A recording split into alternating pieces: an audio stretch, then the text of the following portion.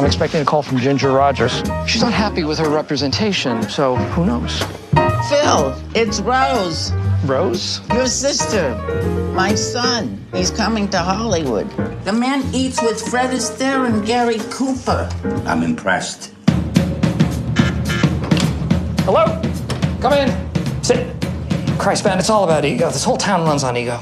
Yeah, I'm Bobby. Bonnie, come in here, can you? Bonnie, this is my nephew, Bobby. Howard's a two-time Academy Award winner. Wow, congratulations. Thank you. You've never heard of me. I'm a writer. Welcome to Hollywood. Hey, pal, you bored already? I'm kind of half bored, half fascinated.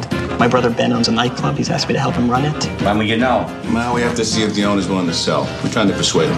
You ask politely, people listen. Are there more beautiful girls in Hollywood or New York? Why? Is that how you'll decide where you'll live?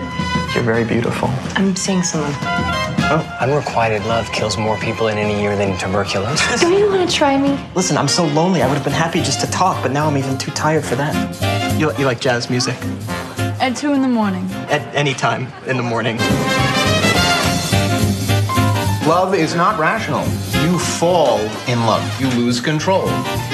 Whoa. Is that good or bad? No answer is also an answer. Ah. Socrates said, the unexamined life is not worth living. But the examined one is no bargain. Ahem. Yes? Life is a comedy written by a sadistic comedy writer.